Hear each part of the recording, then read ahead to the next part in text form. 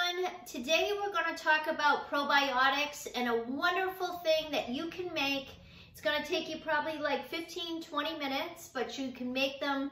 I make probably about five of them at a time. And they will give you different probiotic activity every three days. So probiotics help you to have good gut health. And a lot of times what happens is, is our good gut bacteria gets destroyed and it's overpowered by the bad gut bacteria, which gives us a lot of digestive issues, brain issues, and immune system issues. So we need to make sure that you're putting in good foods to eat in order to help you heal yourself naturally. Now, you can take probiotics. Last video, we talked about prebiotics, how that sets the stage for the probiotic to come in and help you to create good gut bacteria. But getting stuff from your foods as well and then having supplementation is the way to go. So I'm gonna go over sauerkraut with you. Now, very easy to make and you can actually determine how you want your kraut to taste. So the first thing that you're going to do, we're gonna do this in stages. You're going to take your cabbage. I use green cabbage. I like it better than the red for a sauerkraut, but you could do whatever you want. And you're going to take the outer leaves off. And then what you're going to do is you'll cut it in half and you'll take the core out. Rinse these off because you are going to use these later on and spray them. In a previous video, we talked about the natural cleaner for your produce cleaner, so you could spray it with that and then set it aside. You'll cut this in half and then you'll slice the cabbage. So you're gonna get a big thing like this, okay? And then what you're going to do is transfer the cabbage into a big pot. And you're going to sprinkle several tablespoons, start with two per cabbage, of either uh, sea salt or Himalayan salt. You don't want to use iodized, use either a sea or a Himalayan. And then you mix it okay? And then what I do is I set it aside for about 15 minutes because I want the salt to work in and start breaking down the cabbage wall so it will start to sweat. Otherwise, I'm going to be squeezing this cabbage forever, and who has time for that? So you leave it, and then you'll see after 15 minutes, it's going to get watery. Then what you're going to do is you're going to squeeze the cabbage, and you're going to keep squeezing it to break the cell walls down and you'll push it down. And as you're pushing it down, you're going to see water rising up. And the goal is, is that we break down this cabbage so much that when we press down, the water comes up over the cabbage. So that's what you're going to do, and then we'll go to the next step. Okay, now I have squeezed the cabbage and what it kind of looks like is a um, like a wilted salad consistency and down at the bottom there's a there's a bunch of water, okay? Um, I have little kid hands. This took me probably about, I don't know, eight to 10 minutes to do. Um, so, you know, if you have larger, more powerful hands, it's not gonna take you as long, but that's like the worst part of it.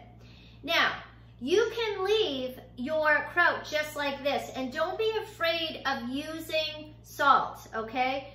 The salt, it, it, you want it to penetrate in so that it will break down these cell walls, okay? And you know, it's not gonna be really salty once the kraut ferments, so don't be afraid of that. Now, I love to put other things in my kraut. So I use ginger, so I just took like a little bit of ginger. Um, maybe like a teaspoonful. You can use a ginger powder too. And I throw that in because ginger is anti-inflammatory. So I love doing that. I'll put about a clove of garlic in it. Um, so I just chop up some garlic. And then I have some extra of the shallots from uh, when I did the prebiotic video, last video. So I just throw in like a little handful of that, maybe about two tablespoons of that. And then I love beets. Beets are wonderful for you. They're great to help your liver along thing and, you know, great for just healing properties all around. Beets are wonderful. So I throw in like a half a beet in there and then I mix all that up too. And it makes the kraut really pretty too when it's done fermenting. It comes out to be like a pink, okay? And so then I mix all that in, more the merrier. I am just giving you a baseline so that you can be creative in your cooking. My whole goal in doing these videos is to show you that being healthy does not have to be difficult. You can make your own things and they don't take a lot of time. And you can do a lot of things at once, like I'm gonna do with this kraut, and you'll have it for a long time. So you get your containers. I always save my jars. I use my old nut butter jars and stuff like that. And you just throw this in and you fill it up. And as you're filling it up, what you wanna do is punch it down. And as you punch it down, you're gonna see water coming up. And that's what we want. We want the water, you wanna compact it, and you want the water to come above the kraut. Okay, I wanna do a close-up of this. So I filled the jar, but I wanna show you how the liquid should be at the top. So when I press down, you could see that the juice is coming to the top. And that's what we want. Years ago, I could not figure out how to do my kraut, kraut. it would get moldy. So I went to a presentation by Sandor Katz, who is an amazing fermenter. He wrote the book, The Art of Fermentation. And my whole problem was is that I wasn't adding enough salt to break down the cell walls to create enough liquid. And we need this liquid at the top, okay? So then what we want to do, so there's a little left in there and I'm going to make some more anyway. So I'm just going to pour some more water at the top of it. And then I told you to save this little part of the inside of the cabbage and you cut it into a little square. And then what you do is you take the outer cabbage leaf that you cleaned with the natural produce wash and you go and you just fold it in there because you want to make a plug. So we want to keep that water down over the cabbage. We don't care if it goes all into the plug, although it will. But we want no mold, okay? And then you just seal this. Now, you need to put this in your sink or if you have like a plastic container or something or a piece of Tupperware, put this in it because it will leak because this is going to ferment.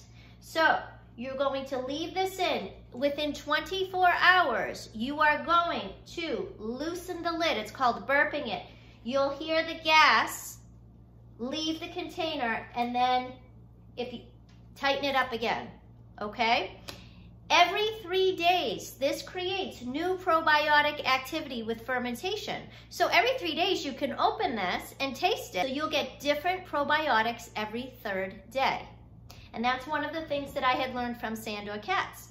Now, when you get to the point where your kraut is tangy for you, you like the taste of it, that's when you want to put it into your refrigerator.